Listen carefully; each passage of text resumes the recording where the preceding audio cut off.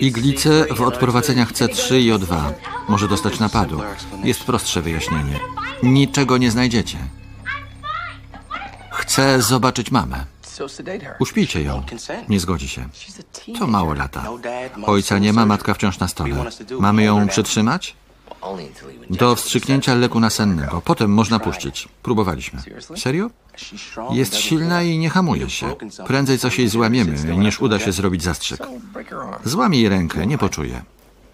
Odbiło ci. Boli mnie. Chodź, złammy jej rękę. Długo będziesz zwodził siostrę Lasencję, twoją flamę? Za 20 metrów ta rozmowa się skończy. Po tej asystenturze Cameron znajdzie kogoś, Chase 8 kogosiów, ty zostaniesz sam. 10 metrów? Podlegasz teorii Darwina. Musiałeś walczyć o wszystko. Partnerka będzie dla ciebie ciężarem. Wciąż z nią jestem. Bo nie dała ci pretekstu do zerwania, ty boisz się uświadomić sobie własną sytuację. Chcę zobaczyć matkę. Witam raz jeszcze.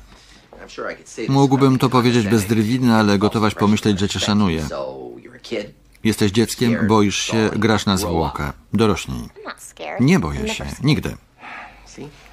Typowa dziecinada. Nie czujesz bólu, a tylko przyjemności.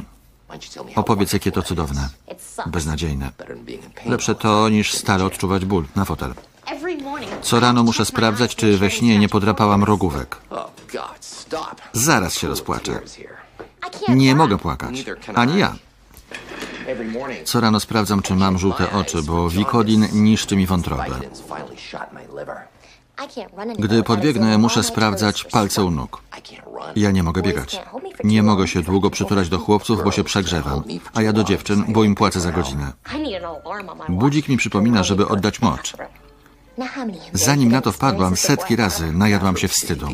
Do łazienki mam 15 metrów. Przed każdym łykiem rozważam za i przeciw. Po każdej czynności szukam ran twarzy, języka, warg, liczę zęby, mierzę temperaturę, sprawdzam, czy spuchły mi palce lub stawy, czy mam siniaki. Mnie postrzelono. W wieku trzech lat usiadłam na kuchence. Pokazać bliznę? Tak.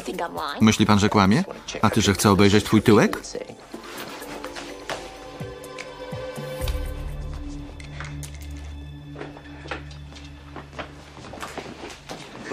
Posadźcie ją i zróbcie badanie.